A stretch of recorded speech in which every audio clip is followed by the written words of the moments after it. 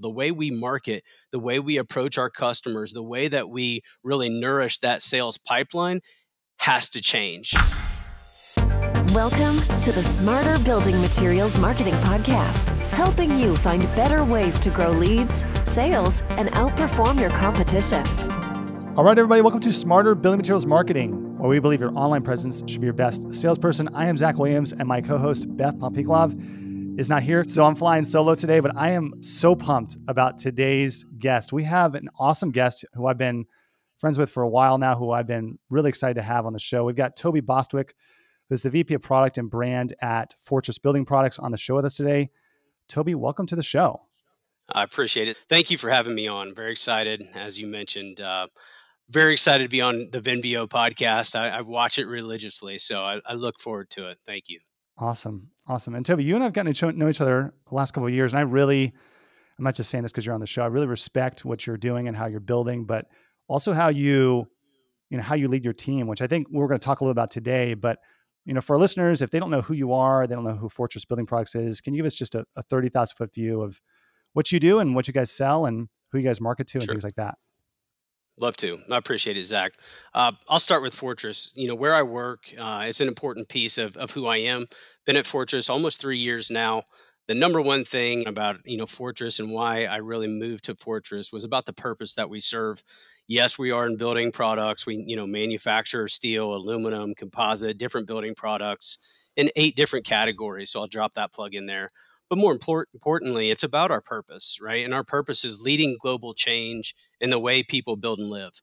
And it's something that uh, is deep for me and that passion of really helping people uh, change what they do, how they live. So bringing solutions to the market. You know, at Fortress, we um, we definitely bring solutions. That's what separates us from what I consider many in the in the industry is not just trying to bring new products to market, but bring a solution. I know that's used a lot, but that's where we start. Um, you brought up, you know, how we're developing and leading the teams, and it's really starting with the solution in mind for the customer, uh, and that's really about Fortress. Um, being there three years, it's been quick. Uh, I'm counting them in dog years, Zach, so they're going really fast. So feels like 21 years as I look at it um, with everything that's happened in the last three years, of course, it's been uh, a lot of moving parts and pieces at Fortress. So, so you got there in 2019, is that right? That's correct. August 2019. Yeah. So you thought like, oh, you know, things are normal, and then like six months in, the world gets turned upside down, right? It's a, it's amazing, right? It's like um, my wife always says, I'm a, I'm a sucker for punishment, right? In some way, shape or, shape or form. And uh, when I started, it was like, oh, this is going to be smooth sailing. You know, Matt, you know, Sherstad, the owner of Fortress, was restructuring the business and um, great foundation of where we were going to go. I'm like, I got it, right? It's mm-hmm. mapped out. And then all of a sudden, COVID hits right after Deck Expo of that year, and the whole world just changed.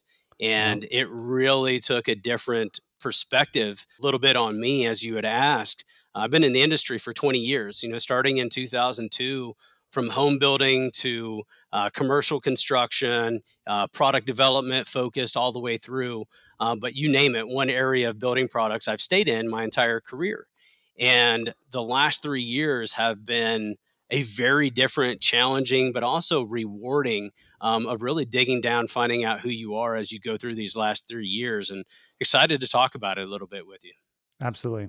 So I think the thought and the idea that's on everybody's mind in building products right now is what do you think is going to happen? Like what what's going to happen with building, with construction? Sure. I mean, like I read two different I read two different articles today. Um, and this was about this was about the cost of oil, which does impact building products. And once one was by Citigroup and one was by JP Morgan. And J- Citigroup was like, hey, we project that oil is going to be $65 a barrel by end of year. And JP Morgan was saying, hey, we think it's going to be close to $300 or something crazy right. like that. Don't quote me on the exact amount. But th- the reality is like nobody knows. And like that feels like what we've lived in for the last few years is that nobody really knows what's going on. I think that's why we need stronger leadership now more than ever. And so what I I want to talk to you about marketing because I love marketing, but I really want to understand is y- you being a leader of people, being a leader of a marketing organization and an organization that's gone through restructuring and you guys are at the front lines of what's happening in building products i want to know number one like what are you seeing? What are you hearing? What do you what do you all think and how are you approaching this? And then secondarily how does that translate to how you're leading your team Absolutely. No, it's a good question. And, and if I get this right, then I'm going to go buy a lottery ticket right afterwards as well. But, you know, it's so funny because, you know, it, hindsight's such a great teacher, you know, and I think what we've learned um, is going to help us as to what we're seeing to move forward. And what I mean by that is we got to be prepared in a different way, differently than we ever have before. And as you just articulated, right, you can have barrel at $300, you know, or uh, crude oil at $300 a barrel or, you know, $65. That's the world we live in right now. Mm-hmm. And if you read one article to another article, you're going to get a very different sentiment of what's what's really happening. And, you know, for me, the way I look at the industry right now, um, in building products or in building materials, and specifically to our area, um, we do have an insulation layer and I believe that. I've seen it, right? I went through the 2007, 2008 coming out of home building, um, you know, saw what happened in going to an alternative, wood alternative material manufacturer. There is some insulation there, right? As people start to focus on their home, refocus where they spend their discretionary income, the long term play is still a good investment in your house right? So those homeowners, there's still an investment there that, yes, the dust has to settle. Inflation is real. What we're going through right now is real. So an acknowledgement of the present is going to help us prepare for the future. But the investment in your home is still going to continue. And the same thing is true with businesses, right? We got to keep going through with business. Um, and so, whether it's your home or the business that you serve, you know, alternative building materials, you know, wood alternative materials, like where I focus specifically, they still have a play. The sales cycle is going to change. And Zach, that's what I see being a little bit differently. So, the way we market, the way we approach our customers, the way that we really nourish that sales pipeline has to change. And if we learned anything from last year is that you got to keep marketing, you got to keep developing, you got to keep nourishing that sales pipeline during the tough times, right? And the good times, right? So last year when orders were just coming in and coming in and coming in, how did we continue to, you know, nourish that pipeline? How did we continue to market, reach new customers and new opportunities? Um, so that's what I see in that near future right now is those people that are being creative, that don't give up, that don't get, you know, discouraged, continue to market, continue to push through, find those segments in the business where growth is still going to happen, but be patient with it. Got to be patient as we're going through this next six months to a year and really finding what I, I hate to say new normal, so I won't I'll go for it, man. It. yeah, that new normal got just yeah. overused all the time, right? Um, but yeah, that's what I see. The opportunity is still there. There's an insulation with discretionary spend that in this industry will continue to be there. And I firmly believe that's going to continue over the next year won't be pretty. There's going to be downtimes. There's going to be slowdowns. Um, we face it now. Uh, many have in the industry. If you read some of the reports, any publicly traded companies or private companies, um, there's some tough times that people are going through right now. So I don't want to be, um, you know, I want to be empathetic to that and, and understand that there are tough times happening. Let me ask you this: When you think about Fortress's strategy, what, what um what percentage of your business is res- is renovation versus new construction? Sure. I mean, it's high. It's I mean, high. we're 90 plus, right? Um, you know, we get some of that uh, new construction in mm. terms mm. of through our traditional steps, though, yeah. through our traditional two step that help feed some of that. But it's going to be 90 plus is still in that R and R market. I think, and I'd love to get your, your take on this. I think R and R is going to become even more important because if you think about it, there's a large portion of the United States. Not if I go macro on you, you but this is what I love is like if you go if you look at macro, a large portion of the United States has been locked into a 3% or even sub 3% mortgage, right? And so they're looking at like five and a half or six. And I mean, granted, depending upon when this podcast drops, it could it could increase or decrease when you look at that mortgage rate.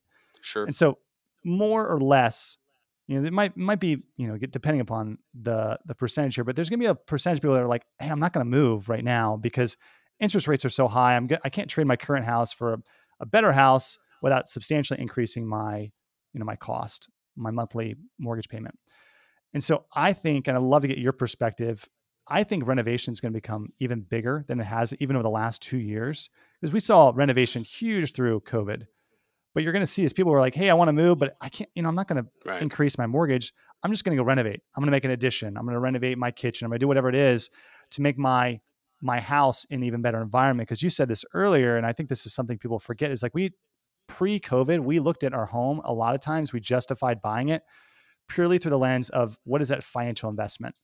Am i going to see return? But i think more and more people are also seeing well what's the, what's the emotional investment? What's the investment in my in my family in having a space that's really built for us you know because we're spending more time at home. And so i'd be curious to get your your take as somebody who's really on yeah. the r&r side. Do you have the same sentiment or you're still waiting to see how you know things play out? I, I, do so it's an interesting way you put it because i'll speak personally you know um, whether luck plays into it or not i do think timing is everything right in life um, but also in the last year when you bought a home is critical as you just mm-hmm. pointed out as interest rates continue to rise right now it's tough but those that are locked in at those lower interest rates what we saw and what we're seeing across the country is that drove instant equity into that home. Bingo. Right. So now that spend is available, right? And as people start to tighten down a little bit and you see that you have that equity in your home, that makes the availability to do your backyard pergola or to put up a new fence or to renovate your kitchen, whatever the R&R is, um, it's it's going to be there for those people that bought at that time, right? The sensitivity factor says, yeah, there's others on the flip side, so I want to be aware of that. But Zach, I agree with you. I think that will generate. That's that insulation we were talking about, or I brought up a little bit, is on the fun, you know, on the upside in building products, you get that de- demand, right, and that supply is tight, and that demand grows.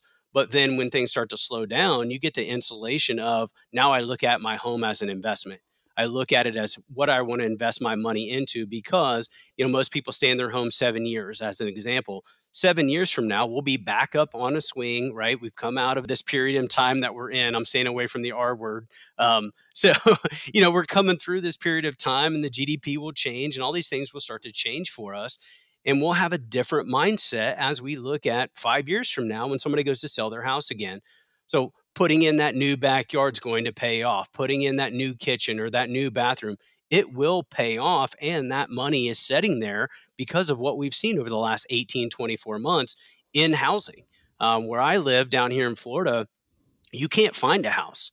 It is still at that point of where as soon as it comes on the market, it's a cash deal, it's the day of, and you got to be ready to buy, sometimes at five to 10% over asking price just yeah. to get into a home.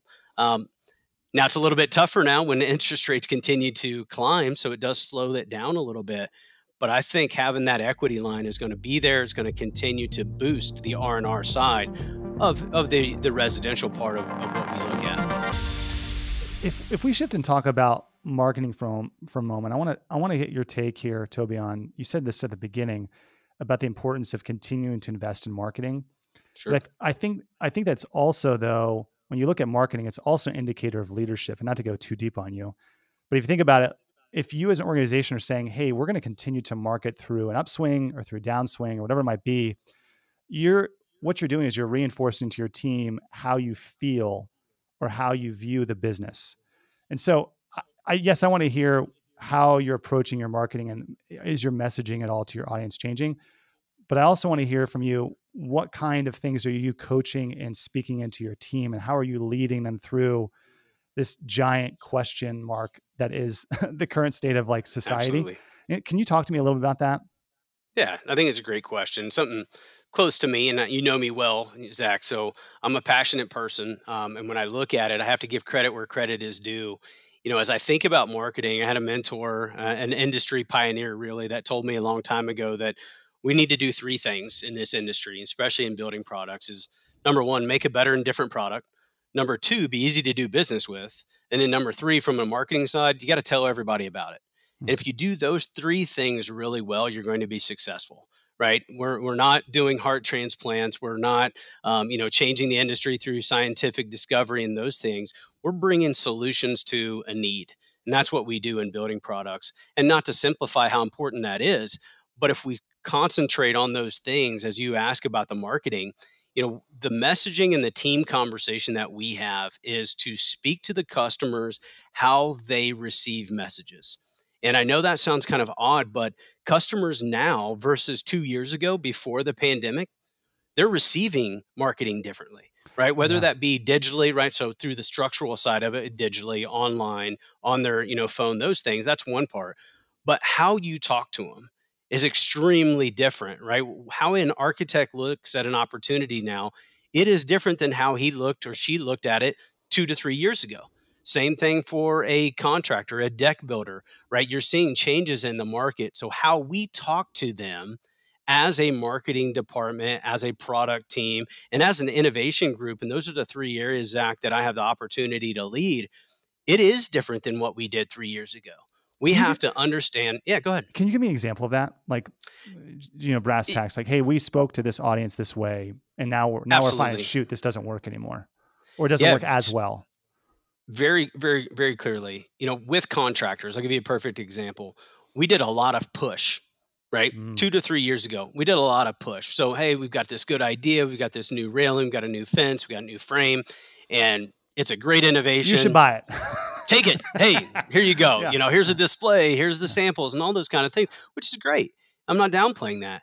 But if that doesn't meet their specific market needs right and new england is different than the southeast denver is different than the bay area in san francisco right? And you know if it rains in seattle doesn't mean it's raining down in albuquerque new mexico. And we have customers in all those different places. That's just north america then you go to the UK, you go to Australia, you go to Ireland, you go to these different places, and understanding that one contractor in one of those areas, absolutely, you cannot take this one size fits all approach anymore and think, well, I'm going to sell frame this way because this contractor in Denver, Colorado really really likes it. He like he's an innovative person. He just wants to be at the leadership of driving new innovation. Well, that may be great for that contractor. So to specifically answer if I move to the Atlanta market where the pricing is different, the pressures are different, that contractor, they may need that conversion opportunity. So, how mm-hmm. do I get them to understand how to upsell from traditional treated wood to a steel frame? That messaging is completely different than if I'm leading with an innovation type story or if I'm leading with a conversion story. So, being able to craft messages, whether it's through social media, is huge, Zach. The way that we've picked out who our influencer partners are or how we talk about our products now to those target markets is completely different than it was when we were doing that push. Now it's listen first and then create the pull through side. What are you using to listen? Is it just conversation, or are you seeing things online specifically? So two areas you you hit on both of them, but I'll, I'll be a little bit more specific. Online is huge, right? Your chat rooms. Mm. It is amazing if you jump on a Facebook, you know, contractor chat room, how much you learn not only about manufacturers but about what's working, what's not working, what am I feeling in my world. You know, we have contractors right now as we speak, Zach, that are still backed up three, four months. But we also have key contractors in this market that are starving for work because they're starting to see people pull back, back. and those hundred thousand dollar projects are no longer just there, right? Just hey, write the write the order and let's go. Customers, their customers are taking their time now. So on, you know, Facebook chats, I'll tell you one thing that has really picked up social media, whether it's Instagram, TikTok, those types of things. Um, I love them all. I don't understand them completely. That's why I have people way smarter than me in the marketing department doing those things. But the feedback we get from those, priceless. People are real. And they I think there's a sense of security. People kind of let down their guard a little bit when you're on Facebook or Instagram. And Mhm. I'll go through the comments on our Fortress Instagram. So many great questions or input. Hey, did you think about doing this? Did you think about, you know, us in our market? How how can you get us product quicker? And you would have never known that if you weren't on those different channels where they feel comfortable conveying that type of messaging. The other side that and, and I'll just be really clear, now more than ever talking to our customers, and I mean distributors, dealers, contractors, our home center partners, that quality time, right? Just like what our wives have always told us, got to spend that quality time, right? Quality with your kids, time. with you know, Mhm. that quality time and, and five minutes can be quality time. You know, one thing you ask about my coaching and some of the things that has really shown to be important with with my team, and I got a great group. Um, you know, they get the benefit of that is that spending time with a contractor every week. So we'll start our Monday afternoon calls with a conversation. Number one, it's always about core values. Can't move away from that. And number two, it's about what contractors did you talk to this week? What did they say? You you ask your marketing you ask your marketing department that those questions. Oh yeah, your product department. All so pro- product, product department. Yeah. Uh, everyone has a I'll call it an ultimatum, but yeah. there is a directive. We don't learn anything by just talking internally. As soon as you just talk internal, what we have found is you start making short sighted decisions. And when you talk externally, you'll make long term decisions. You'll make those decisions that are beneficial. And that's what we found talking with our contractors. Um, those customers that are putting money in the bank, right? Those that are paying the bills, those are those are the people that are giving you the honest feedback. And that's where it really starts to come into your decision making. Am I getting honest feedback from my distributor partners? Do I have a line of communication with my dealers? What's going out the door? What are they selling? What's not moving? What are we doing well? And the same thing, obviously, at the contractor level. So, those three different levels and understanding their business is critical to being able to make good decisions on our side and, and understand our business. That's super smart. I I love that you're tasking your team, regardless of whatever division that they're in, that they got to be talking to the customer because you're absolutely right. And we all see this. We've all we've all you know been, been guilty of this. Is if if you're just talking to your internal team, your ideas become very insular. You know, you don't absolutely. have that outside perspective. But you said something a minute ago. I, I think it's I want to get your take on Toby, which is you're talking about those people that maybe they have a hundred thousand dollar project that they're seeing pullback. And the last two years for a lot of companies in building products, whether it's the trade or contractor, builder, even manufacturers, if you look at that scale of fear and greed, it's been very much greed. It's like, hey, I got more. I, I mean, I, I can't even make enough product to sell, you know? And now you're starting Absolutely. to see, like you said, that pullback. And so I think the biggest message that manufacturers, and you push back against this if you if you disagree, but I think the biggest message that manufacturers are going to need to start to speak to is the is the is the greatest pain point that people are going to start to deal with, which is uncertainty. Is that these guys they're like, hey, I've I've been really hot for a while now. Is it going to continue? Like uncertainty, I think is the biggest thing. It's more than like job flow. It's more than you know even finding someone to do the work or even finding product is the it's the overall uncertainty of the times because if there's anything that's happened over the last two years or even three years now is that we live and i hate the term but it's very uncertain. And like things are changing so quickly. And i think that's why people are tired too. Like you were talking this before we started Absolutely. recording. It's like we're not tired because we're working so hard. We're tired because things are changing so much so quickly. Yeah. You no, know? you're 100% right. I'll, I'll uh, directly answer your your question there in terms of um, you know contractors. As i told you and this came directly from contractors obviously won't use their names um, but spent a lot of time with them last week face to face. We had a great uh, a build off. I don't know if you probably heard about it but mm-hmm. but going on out in east texas and it was a great opportunity with many different manufacturers and building products to get together, um, but to have real conversations. And you'll see some that still have that backlog that's like, you know, I had this pipeline build up. I was, you know, six to seven months as far as my lead time last year, but now that's down to three. But I still have a good book of business, good order, you know, coming through. Um, but the flexibility is a word that I think every contractor right now um, is using all the time. And what I mean by that is they need to be flexible in having so many different projects open because you don't want to give that time for somebody to question. Ah, right. You want to be able to say, okay, hey, let's move this forward. Let's do your initial investment. Um, you know, drawings are done. We've already moved forward because that hesitancy, as you brought up, is really starting to happen. Do I wait? I, should I yeah. should I wait and see what happens? You know, my gas just went up to five dollars a gallon or six dollars. I think maybe I should wait to spend this, you know, forty, fifty, sixty thousand dollars. So flexibility around scheduling, flexibility around having multiple projects going at once. I heard it time and time again last week. Uh, is extremely important. But then understanding what makes you you as a contractor and a builder is extremely important, right? So your value that you bring to a homeowner is different than what it was last year, right? As you just brought up, brand loyalty as an example went right out the door last oh, yeah. year. But right? now but now it's different. Absolutely you know? is. Last year it was like, "Hey, can you get my project on the books for this year?" And now yeah. you're seeing like you're seeing that the hesitation, that pullback. Um, Absolutely.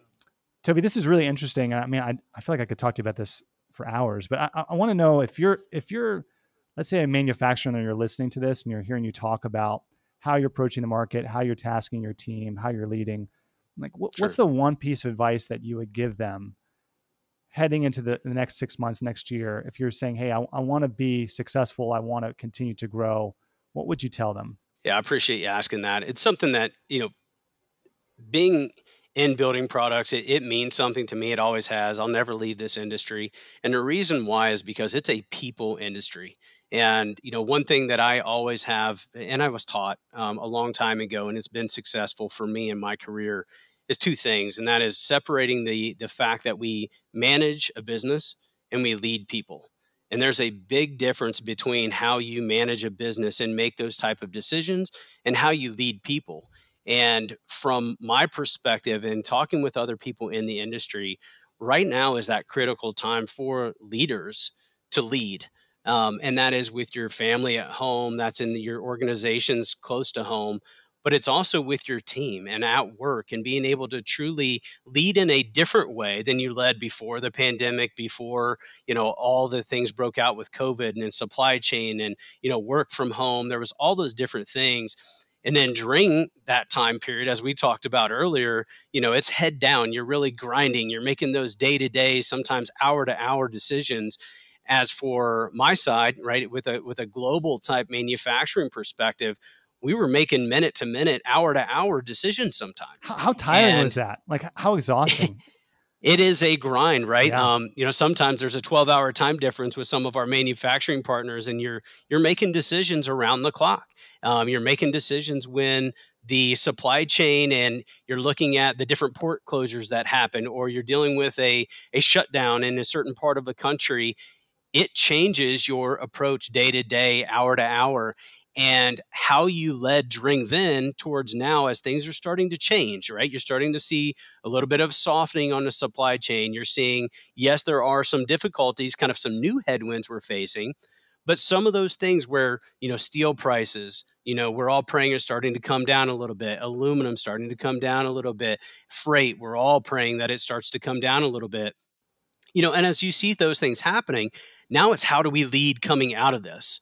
How do we inspire how do we really get our teams moving in that direction and um, you know for for me and i hope you don't mind that i've always positioned myself in leading and i call it the four t's that i think is important with leadership and that's truth that's tools that's training and that's time and what I mean by that is the truth is all about the transparency and the why, right? You hear everybody talking about understanding the why.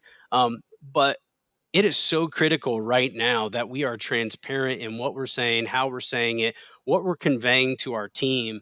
Um, and it's important as you're evaluating your team, right? So, a part of leading people is also evaluating those people that you lead. That's part of the responsibility you have as a leader. So, the first one being truth, the second one is the tools. Um, it, the tools is do you give them the opportunity to do the job? Whether it be you know a computer program that they have but the tools to execute their job at the highest level and the potential to do those things. Uh, and then the last two are really all about do they have the right tools? But then it's do they have the right training? Are they trained correctly right? Are the clear expectations? Are there kpis set where that training to do the job with the tools that you've given me i can do that to the best of my ability?